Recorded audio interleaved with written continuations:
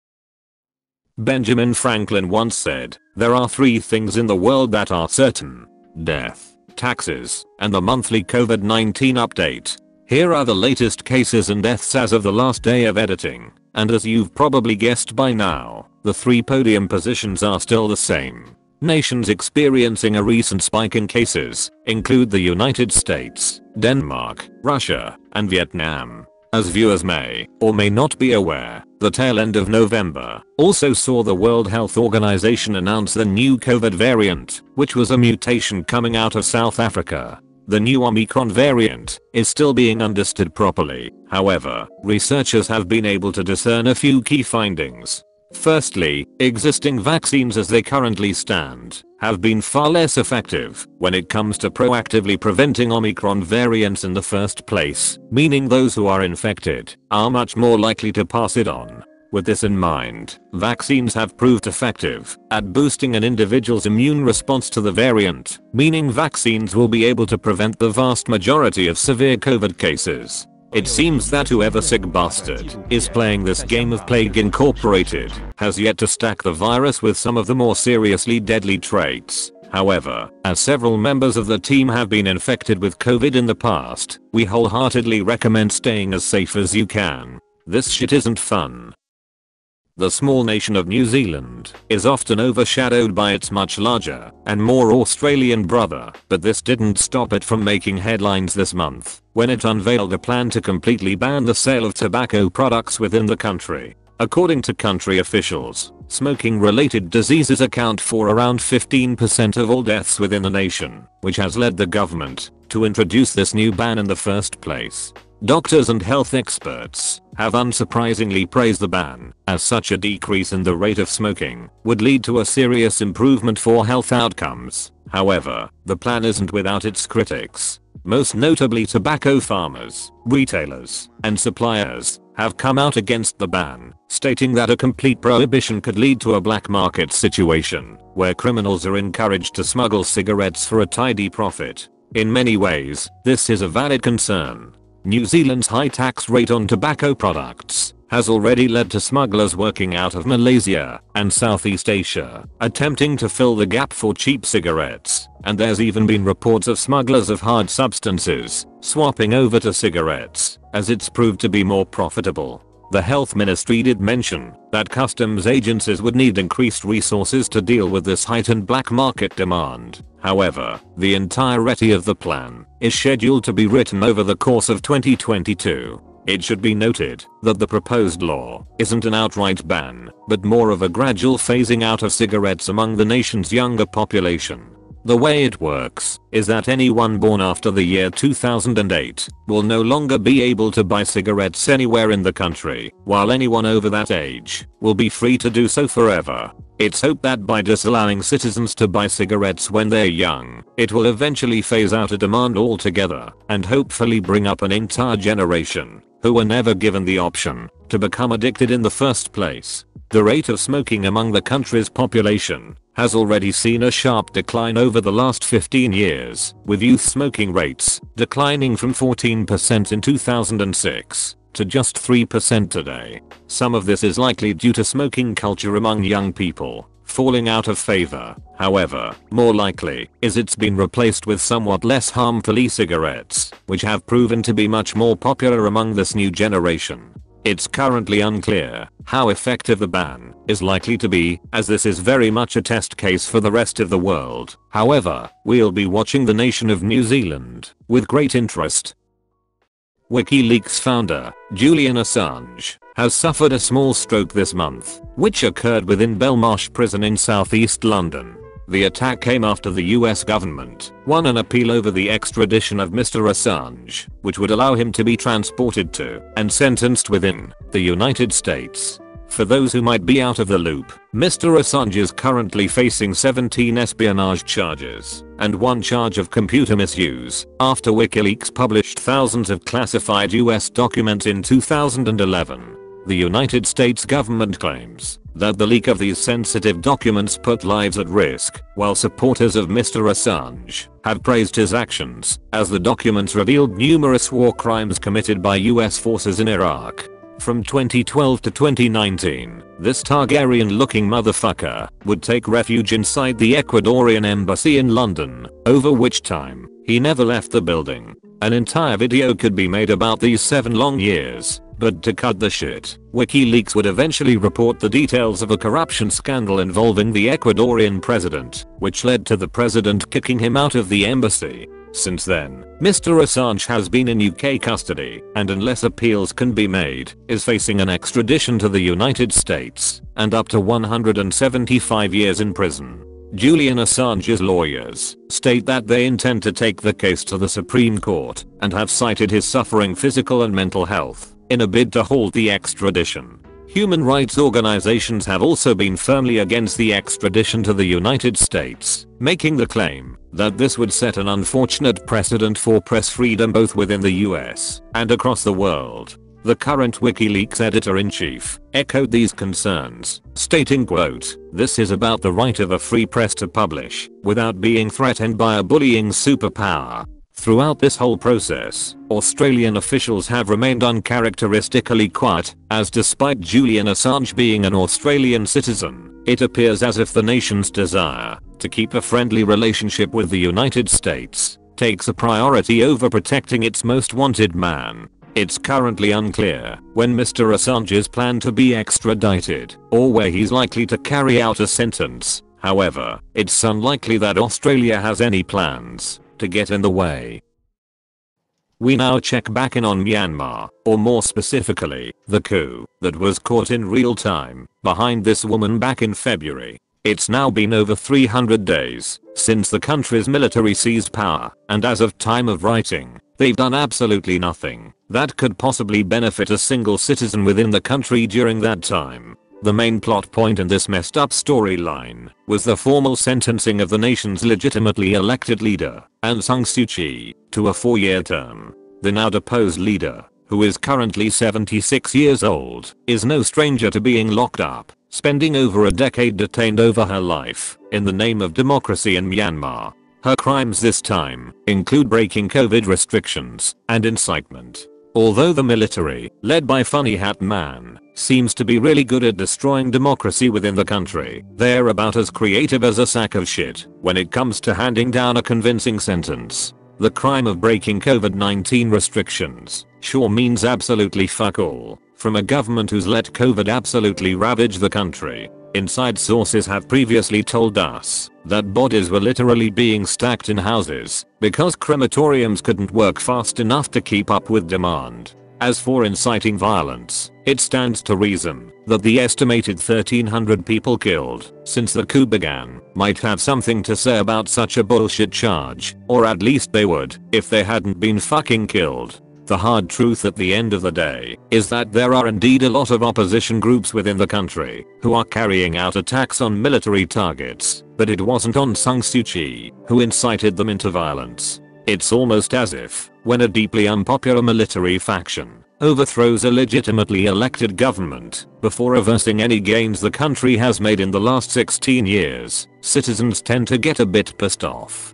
Funny Hat Man is someone who would take a shit on a monopoly board and be offended that someone else told them to please leave their daughter's 9th birthday party as it currently stands, the military is facing accusations of committing war crimes by human rights groups, with the last confirmed indiscriminate airstrikes being carried out on the Sagaing region at the end of November, while the United Nations estimates that half the population is likely to fall into poverty over the coming year. Viewers who are expecting a military coup in their own country might be interested in today's sponsor, if you're trying to remain invisible online, or just trying to watch region locked content, then you'll probably want a VPN. Surfshark VPN makes protecting your online privacy and watching prohibited Netflix shows easier than making an empty promise to yourself on New Year's, and you can rest easy knowing that your privacy will be infinitely more secure than the information YouTube is harvesting about your lifestyle choices at this very second.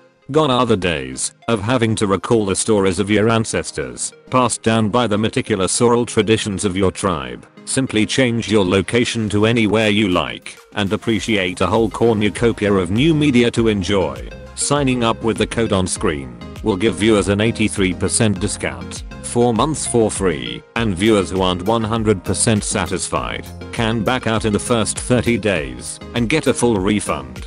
Surfshark VPN it's cheaper than the other ones.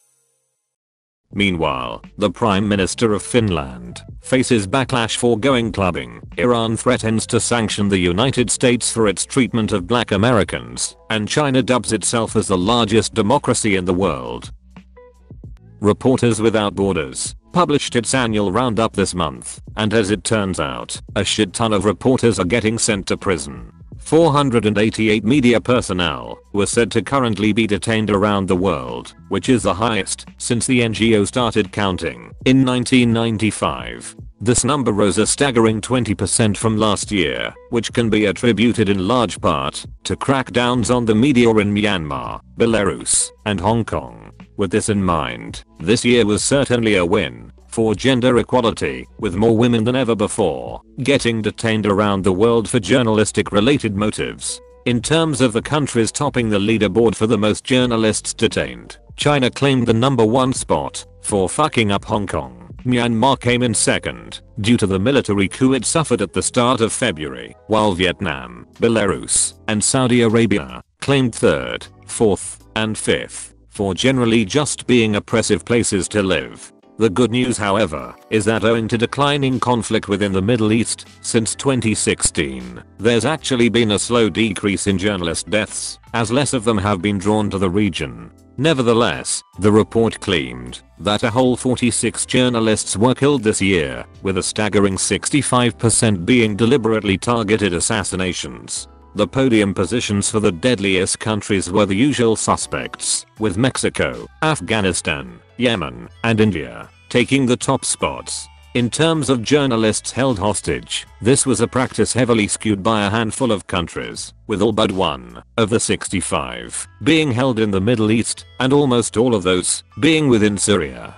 Reporters Without Borders have attributed these higher numbers to an overall rise in authoritarianism across the world and state that many oppressive governments are not being subjected to enough pressure to curb these detentions. Jack the intern has been detained by the nation of New Zealand since the beginning of April and we really hope they let him out before we have to call a second time. Throughout December, alarming reports began spreading concerning a Russian military buildup along the Ukrainian border, with an estimated force of 120,000 troops at the ready. Although quite alarming, especially to Ukrainian leadership, this isn't even the first time this has happened. Within the last year, with a similar build up at the start of April, seeing similar numbers stacked up across the 250 kilometer border, Concerned that Russia was about to casually begin an invasion into Europe, US President Joe Biden decided to ring Vladimir Putin and ask him very nicely if he'd please reconsider. Not much seemed to come out of the meeting, as far as we can tell, as Mr. Putin seemed to think the threat of economic sanctions was fucking adorable. It's important to understand that depending on who you ask, Russia has been an occupying force in Ukraine for the better part of a decade in 2014, the Russian military rolled into Ukraine's Crimean Peninsula, occupied the entire region, didn't elaborate further, and now refuses to leave. Since then, Ukraine and Russia have been in a kind of half-hearted war over a few select regions of what's internationally recognized as Ukraine, leading to around 3,000 deaths and 30,000 casualties since 2014. From the perspective of Russia, Crimea was never part of Ukraine in the first place, and most of its residents speak Russian and consider themselves Russian citizens. When Russia took over this region, the Ukrainian government was in the process of being overthrown, so from the perspective of Russia, it invaded in order to protect its own citizens. Polls have even been conducted in Crimea, which indicate that most citizens do in fact favor being part of Russia, However, as a lot of these are conducted by Russian sources, I find it hard to call this entirely unbiased. After all, according to a poll by officials in the nation of Swagistan, this series was voted the best news show in the history of humanity. The perspective of Ukraine is far simpler to understand. The invasion in 2014 and the troop build-up at the border is simply a show of force from an expansionistic dictator, especially when Ukraine is trying to become part of the European Union which is often at odds with Russian interests. Ukraine sees Crimea as a region which is internationally recognized as their territory and has had to suffer thousands of civilian casualties at the hands of Russian mercenaries since being invaded. It's currently unclear whether the troop buildup is probing the international reaction before a full-scale invasion or whether it's simply a political stunt to win brownie points from Putin's nationalistic supporters. However, it almost certainly won't be the last time that Russia shows up with a hundred thousand uninvited guests on Ukraine's doorstep. We now check back in on Afghanistan. When we last left off in August, the United States was assuming its proud tradition of losing wars to a bunch of people who live in caves, meaning nearly the entire nation is now Taliban town. Since the withdrawal of US troops, the United States has halted 10 billion worth of aid to the country, which has left the nation's current level of food and other supplies insufficient to supply the entire population. It's here where the blocking of aid might just backfire. For the past several decades, Afghanistan has been the largest producer of opium anywhere in the world, and as it currently stands, 90% of the world's heroin supply starts within Afghan borders. This was always the case under US occupation. However, under the Taliban, drug cultivation and production has boomed within the country, as many farmers now see opium as their best chance to generate a livable income. When speaking to the BBC, one farmer explained that many crops have become entirely unfeasible to grow, as the current market price to sell the produce doesn't even cover the cost to sow his fields in the first place. This spike in opium production seems to be a shift away from the Taliban's historical stance on the drug trade. In July 2000, the Taliban declared that the growing of poppies was un-Islamic, and as they tend to have a very proactive governing style, opium farming within the country briefly dropped by 99%, which was three quarters of the world's supply at the time. Of course, when Uncle Sam moved in the following year, things quickly returned to normal, however, the present day Taliban appear to be more pragmatic. Their current stance is that although they'd like to eradicate the drug entirely from the country, they understand that they can't just ban the production of opium overnight without huge economic consequences, especially for many of the nation's struggling families. It's their hope that by first creating alternative forms of employment, they'll eventually be able to offer an alternative to the drug trade, which currently acts as a vital pillar for the Afghan economy. However, with opium employing 400,000 people and comprising up to 11% of Afghanistan's entire GDP, it seems that the world's largest drug supplier was the most addicted all along. With news for this year finally over, it's now time for some important announcements. As viewers may know, I've been making real world news on this channel for 3 years, which was once a 3 minute weekly episode, before evolving into these much more ambitious projects we have the luxury of making today. In 3 years, not a single regular news video has been monetized by YouTube, meaning paying for the team, the stock footage, and hundreds of hours of time, all comes from outside of YouTube.